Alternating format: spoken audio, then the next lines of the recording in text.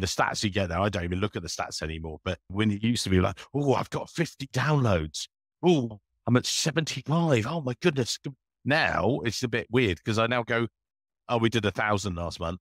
And I'm like, wow, you know, it's, it's just built up.